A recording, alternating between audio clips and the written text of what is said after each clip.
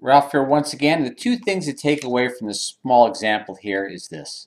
Is basically that imaginary numbers are represented in Python by utilizing a small j, not an i, like we're most familiar with in math. It's one of the few characters that you can put right next to an integer, just like this, without having to use a multiplication sign because Python understands that this is an imaginary number.